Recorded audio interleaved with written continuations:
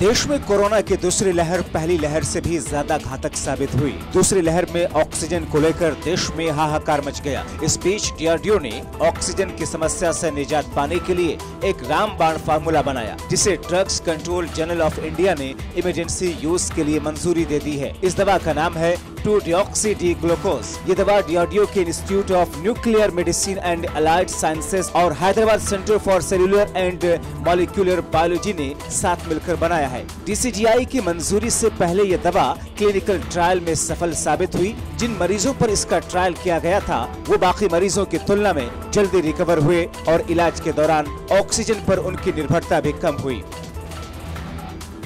एक तरफ़ जहाँ देश में दूसरी लहर के साथ ही ऑक्सीजन की कमी ने हाहाकार मचाया हुआ था, वहीं कोरोना वायरस की पहली लहर सामने आने के बाद ही डीआरडीओ ने इस दवा पर काम करना शुरू कर दिया था। डीआरडीओ के वैज्ञानिकों ने अप्रैल 2020 में लैब में इस दवा पर रिसर्च किया। रिसर्च में पता चला कि ये दवा कोरोना वायरस के मरीजों के लिए मददगार साबित हो सकती है। अब आपके लिए ये भी जानना ज़रूरी है कि ये दवा कैसे ली जाती है। दरअसल ये दवा न तो टैबलेट के रूप में है और न ही इंजेक्शन के रूप में।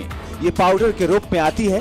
पाउडर को पानी में घोल कर लिया जाता है। दवा लेने के बाद जब ये शरीर में पहुँचता है तो कोरोना संक्रमित कोशिकाओं में जमा हो जाती है और वायरस को बढ़ने से रोकती है। डीआरडीओ के मुताबिक ये कोरोना संक्रमित कोशिकाओं की पहचान करती है और फिर अपना काम शुरू करती है।